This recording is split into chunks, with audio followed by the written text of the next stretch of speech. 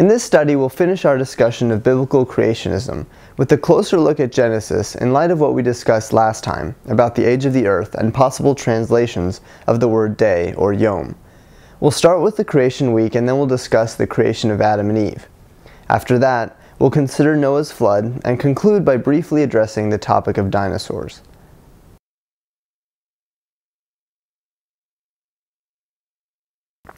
Verse 1 In the beginning, God created the heavens and the earth.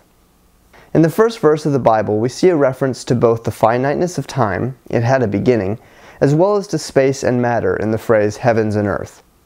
This short verse actually does a good job of describing that space-time singularity that we believe exploded into our universe in the Big Bang. We have no way of knowing from Scripture that this is how it happened, but our understanding of the universe's beginnings would imply that this verse encompasses the billions of years with which God expanded and ordered space and matter into the beautiful cosmos that we can glimpse on dark nights and through satellite photography. Verse 2 the earth was formless and void, and darkness was over the surface of the deep, and the Spirit of God was moving over the surface of the waters. Since the Bible specifically applies to the inhabitants of earth, it's not surprising that its account quickly shifts to the formation of our planet. Now this verse is rather vague, but it seems to refer to an earth whose land was covered by water. Scientists theorize that the earth was very hot early in its formation and that its early atmosphere was dominated by water vapor. Once the Earth cooled enough, this vapor would have condensed and fallen to the Earth to form its oceans. We don't know if this ocean covered all land on Earth at this point, as the Bible seems to imply, but a relatively formless Earth, covered with water, is consistent with modern scientific theories. And this would have been long before life would thrive on our planet. Verses 3 through 5. Then God said, Let there be light, and there was light. God saw that the light was good, and God separated the light from the darkness. God called the light day, and the darkness he called night. And there was evening and there was morning, one day. While light and the sun would have had to exist long before this point in the Earth's history, this may be referring to the point at which the Earth's early atmosphere cleared enough to let light reach the Earth's surface, and thus cause mornings and evenings on the Earth. As mentioned before, the word yom may refer to long periods of time. However, here it may just be defining a literal day as how long it takes for the Earth to complete a rotation. Unlike later uses of yom in this chapter, this one doesn't appear to encompass anything more than a 24-hour day. Verses 6 through 8. Then God said, Let there be an expanse in the midst of the waters, and let it separate the waters from the waters. God made the expanse, and separated the waters which were below the expanse from the waters which were above the expanse, and it was so. God called the expanse heaven, and there was evening and there was morning, a second day. Here we see the continued clearing and refinement of the atmosphere. The separation of the waters described here seems to be a fair description of the formation of rain clouds held within the atmosphere. And progressive creationists understand evening and morning in this context to be referring to the beginning and end of a period of time in which these events occurred. As mentioned before, a thousand years are like a day to an eternal being like God. So from his perspective, the word day is accurate, even if it refers to millions of years. Verses 9 through 10. Then God said, Let the waters below the heavens be gathered into one place, and let the dry land appear. And it was so. God called the dry land earth, and the gathering of the waters he called seas. And God saw that it was good. This may very well be a description of processes such as plate tectonics, mountain building, volcanoes, etc. Perhaps even the breakup of the hypothesized supercontinent Pangaea. Verses 11 through 13. Then God said, Let the earth sprout vegetation, plants yielding seed, and fruit trees on the earth bearing fruit after their kind, with seed in them. And it was so. The earth brought forth vegetation, plants yielding seed after their kind, and trees bearing fruit with seed in them, after their kind, and God saw that it was good. There was evening and there was morning, a third day. Obviously, this is describing the appearance of plant life. Now, vegetation, such as trees and flowers, do not appear in the fossil record until after certain animals had existed for some time. However, the first life forms which existed well before the Cambrian explosion were bacteria and single-celled algae, which are plants. Like other plants, algae get their food from photosynthesis and produce oxygen as a byproduct. Scientists believe that over billions of years, it was these early plants that filled our atmosphere with oxygen. So the existence of plants before animals is supported by science and explains the method by which God prepared the atmosphere for animal life. Now this passage is more specific and refers to much later plant life such as trees. Although it is possible that plants like this existed earlier than fossils show, since they're relatively fragile and don't fossilize easily, it may also be that this is an example of a simplification in the biblical account. Rather than explain the difference between single-celled algae and more complex plants like trees that came later, a more understandable creation account would have just lumped plants together into one category of creation. Since the main point of the creation account is simply to explain that God created the world, not precisely how, this generalization doesn't really make the Bible unscientific. And since we understand the days of creation to be periods of time rather than days in a week, who's to say that they can't overlap? The plant period did indeed start before the animal periods, but I don't think it too much of a stretch to think that it may have continued into them.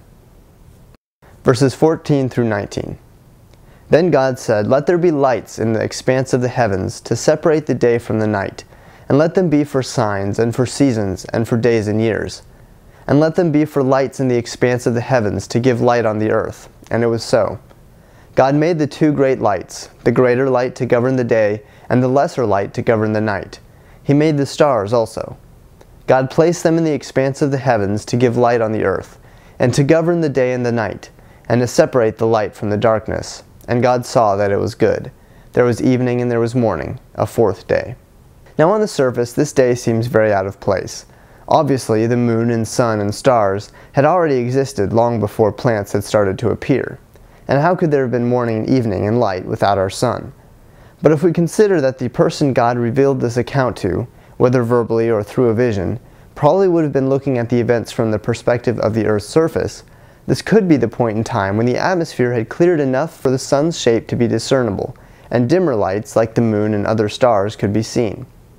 This explanation may seem like wishful thinking, but it's not when you look at what scientists have actually been hypothesizing about how the Earth's atmosphere developed.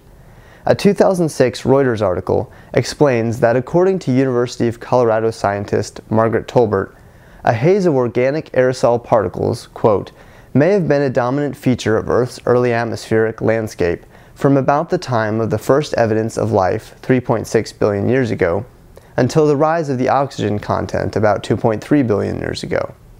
Additionally, the thick haze not only may have nourished organisms, but may have protected them from harmful ultraviolet rays. Given the widespread understanding that the algae we mentioned earlier were the primary cause of this rise in oxygen, this positioning in the creation story makes perfect sense in light of this theory, no pun intended. Verses 20 through 23. Then God said, Let the waters teem with swarms of living creatures, and let birds fly above the earth in the open expanse of the heavens. God created these great sea monsters and every living creature that moves, with which the waters swarmed after their kind, and every winged bird after its kind. And God saw that it was good. God blessed them, saying, Be fruitful and multiply, and fill the waters and the seas, and let birds multiply on the earth. There was evening and there was morning, a fifth day. This day presents another potential difficulty when compared with the fossil record. The early appearance of fish is scientific, but birds don't appear in the fossil record until about when mammals do. And reptiles and dinosaurs appear before birds. Is this a contradiction? Certainly not if we view the ordering of these days as potentially overlapping. Again, the beginning of this day is ordered correctly. Fish do generally appear in the fossil record before land-dwelling creatures. Perhaps this day or period didn't end until partway into the next. Also, since this day doesn't say that there weren't any creatures on land, such as bugs or reptiles, it may simply be focusing on the fish and birds, since most land animals are lumped into the next day. Verses 24 through 31. Then God said, Let the earth bring forth living creatures after their kind, cattle and creeping things and beasts of the earth after their kind. And it was so. God made the beasts of the earth after their kind, and the cattle after their kind, and everything that creeps on the ground after its kind. And God saw that it was good. Then God said, Let us make man in our image, according to our likeness, and let them rule over the fish of the sea, and over the birds of the sky, and over the cattle, and over all the earth, and every other creeping thing that creeps on the earth. God created man in his own image. In the image of God he created him. Male and female he created them. God blessed them, and God said to them, Be fruitful and multiply, and fill the earth and subdue it, and rule over the fish of the sea, and over the birds of the sky, and over every living thing that moves on the earth. Then God said, Behold, I have given you every plant yielding seed that is on the surface of all the earth, and every tree which has fruit yielding seed, and it shall be food for you. And to every beast of the earth, and to every bird of the sky, and to everything that moves on the earth which has life, I have given every green plant for food. And it was so. God saw all that he had made, and behold, it was very good. And there was evening and there was morning, the sixth day. Finally, we have the creation of land animals, and finally man. As mentioned before, this period may have begun before the last had ended, since it refers to creeping things which may be reptiles. Or the creation account just may not be specific enough to single out reptiles, and thus this day refers primarily to mammals. We see that God created man last, although a more detailed account of this creation is saved for Genesis 2 we also see that God gave us plants to eat. While it's interesting that this passage doesn't mention animals being given for food, this omission doesn't imply that all animals were vegetarians until after the fall. Carnivorous animals have teeth obviously designed for eating meat, so it would not make sense that God intended for these creatures to have been vegetarians. That wraps up Genesis chapter 1. As we have seen, when you look at it as a generalized account of creation, as told in a way meant to be understandable to early mankind, it actually fits in with the facts of science quite well. The specific numberings of the periods of creation establish a pattern of work for God's people to follow, including a day of rest. The explanations I suggested may have seemed to tend toward twisting the Bible to fit the science, but I really don't see any contradictions here. This may not be right, but a thorough look at Genesis does not tell me that a completely literal young earth perspective is the only biblical creation theory. Rather, I think if you consider nature as another form of divine revelation, it being his creation after all, I would say that a theory interpreting the yoms as long, possibly overlapping periods is probably much closer to the truth. Of course, we won't know this for sure until we get to heaven.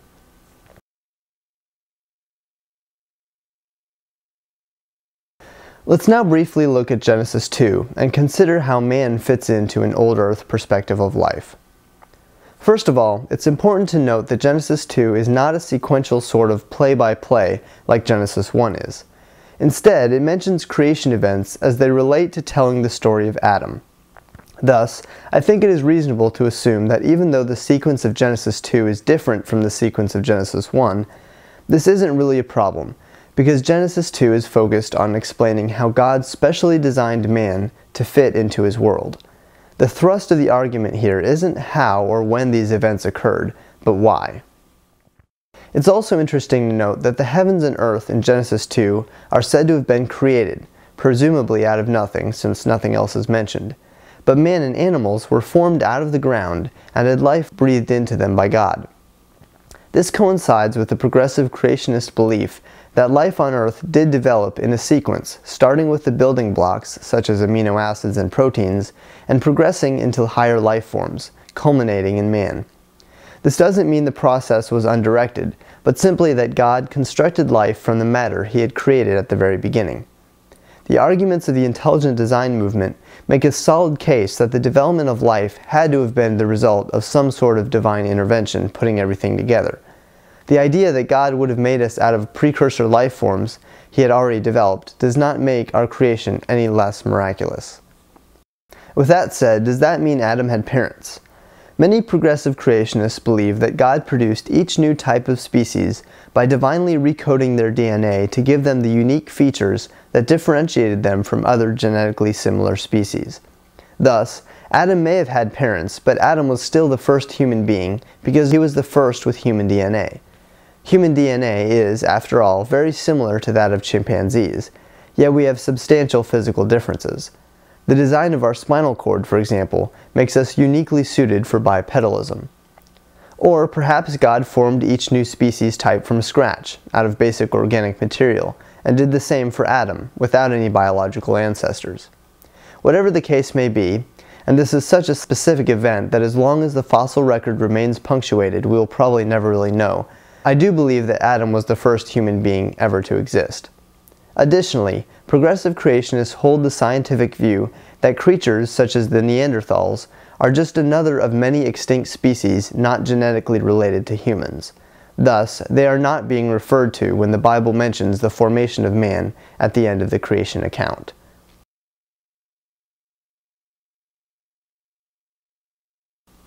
Another thing Christians have debated is the idea that death was absent from the earth before the fall of humanity. Clearly, if the fossil record represents millions of years of life on earth, then animal death has been part of the ecosystem since God first created life. And in fact, the idea that sin brought animal death into the world is not stated in Scripture. One of the relevant passages to this debate is Genesis 1 verses 29 through 30 the one we read earlier about man and animals being given plants for food. But like we said then, it doesn't mean animals didn't eat each other. Perhaps all the animals in the Garden of Eden were vegetarians, or perhaps it merely meant that God intended for Adam to live off plants, perhaps for safety or health reasons. We don't know, but it's hardly definitive enough to say that animals didn't die during or prior to this time. The other relevant passage is Romans 5:12. Quote, Therefore, just as through one man sin entered into the world, and death through sin, and so death spread to all men. This clearly specifies human death as the consequence of sin, particularly since it's through sin that this death came, and most Christians would agree that humans sin, not common animals. It's also possible that this death is spiritual, in addition to or instead of physical. But either way, it doesn't mean that animals hadn't died before the fall, and thus it doesn't contradict the fossil record.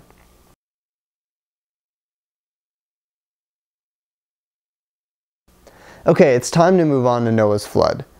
Like Genesis 1, reading the English account of the flood in Genesis 7 gives one the impression that this was a worldwide event.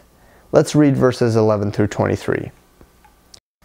In the 600th year of Noah's life, in the second month, on the 17th day of the month, on the same day, all the fountains of the great deep burst open, and the floodgates of the sky were opened. The rain fell upon the earth for forty days and forty nights. On the very same day Noah and Shem and Ham and Japheth, the sons of Noah, and Noah's wife and the three wives of his sons with them, entered the ark. They and every beast after its kind, and all the cattle after their kind, and every creeping thing that creeps on the earth after its kind, and every bird after its kind, all sorts of birds, so they went into the ark to Noah, by twos of all flesh, in which was the breath of life. Those that entered, male and female of all flesh, entered as God had commanded him, and the Lord closed it behind him. Then the flood came upon the earth for forty days, and the water increased and lifted up the ark so that it rose above the earth. The water prevailed and increased greatly upon the earth, and the ark floated on the surface of the water. The water prevailed more and more upon the earth, so that all the high mountains everywhere under the heavens were covered. The water prevailed fifteen cubits higher, and the mountains were covered. All flesh that moved on the earth perished, birds and cattle and beasts and every swarming thing that swarms upon the earth, and all mankind. Of all that was on the dry land, all in whose nostrils was the breath of the Spirit of life died. Thus, He, God, blotted out every living thing that was upon the face of the land, from man to animals to creeping things and to birds of the sky. And they were blotted out from the earth, and only Noah was left, together with those that were with him on the ark. Young Earth creationists have used the flood as the universal answer to phenomena ranging from the fossil record to the Grand Canyon. They say that the massive upheaval of a global flood could explain these and more. However, the flood explanation cannot account for the universally consistent ordering of life forms in the strata. They can't explain the well-defined layers of incrementally formed sedimentary rock, which would not have resulted from a single settling of mud. The Grand Canyon shows evidence of a very gradual carving, not a sudden gouge from an immense current over several weeks. This is all to say that the flood doesn't refute the evidence for an old Earth. But was there still a global deluge? There are a number of scientific difficulties with the idea that Noah's flood covered the entire globe, mountains included. First of all, there isn't enough water on the earth or in the atmosphere to cover the entire earth and its highest mountains. Perhaps there were repositories deep underground that God caused to spring up and then drain back away. Plausible, perhaps, if this were the only difficulty, but it's not. Another big problem is the migration of animals like penguins or kangaroos and other creatures that would never have been in the Middle East in Noah's time. Did the koalas swim from Australia in order to get on the ark? And what about all these animals surviving after they got off? Where would the carnivores have found food without driving their fellow survivors to extinction in a matter of weeks? These difficulties raise questions about our initial impression of Genesis 12 being a worldwide event. Could the deluge have instead been a much smaller but still devastating flood that merely wiped out all human life on earth? This leads us to a similar debate as the one over Yom. The Hebrew word for earth used here is eretz, which also has a very general meaning that according to the theological word book of the Old Testament has meanings ranging from world to earth to land to territory to region. Thus, the word itself doesn't have to mean the entire globe. And since the source of this record is the only human witnesses, Noah and his family, it is told from their perspective on the earth. Clearly, the flood was unlike anything they had ever witnessed, and extended as far as they could see, covering all visible dry land. Given their limited understanding of the earth's size, it is certainly understandable that they would have considered this to have been a worldwide event. When read from Noah's perspective, the account is not falsified by the idea that it was local. The flood was a reaction to the sin of man, and its purpose was to wipe out mankind. Since man was still relatively limited to a specific geographic region at this point, such a catastrophe would not have had to extend beyond a fairly small part of the earth. As for the land and air-dwelling animals of the region, they too would have been wiped out. To bring animal life back to this desolate region, Noah would have needed to bring animals with him, Otherwise, it may have been many years before distant populations would have made their way back into the area. Now I'll admit that this may be reading too much into the account, but given the natural evidences and the practical difficulties with the global interpretation, I think it's important to consider whether a local interpretation is reasonable. I think it is, and although there are still some difficult passages to put in a local context, when we remember the perspective of the author and the broadness of the word meanings, I don't find this explanation to be a denial of the Bible's veracity. The flood still accomplished its ultimate purpose, a restarting of the human race. As for God's promise to never do such a thing again, this has not been broken by later local floods, because no other flood has ever wiped out the human race. Another interesting point comes from an implication in Genesis 9:10. Quote, "And with every living creature that is with you, the birds, the cattle, and every beast of the earth with you, of all that comes out of the ark, even every beast of the earth. While it's not really proof of anything and could be referring to sea life not on the ark, the differentiation between every beast of the earth with you and every beast of the earth seems to imply that there was animal life elsewhere on earth that Noah had not taken with him. Which brings up another question. How would both fresh and saltwater fish have survived if all water on earth had been combined? Alright, that's going to have to do for the flood. I know it doesn't exactly set the issue to rest, so I encourage you to research this independently if you're unconvinced. I simply conclude from all of this that the difficulties with a global flood are reasonably answered by a local one, a concept I do not believe contradicts Scripture.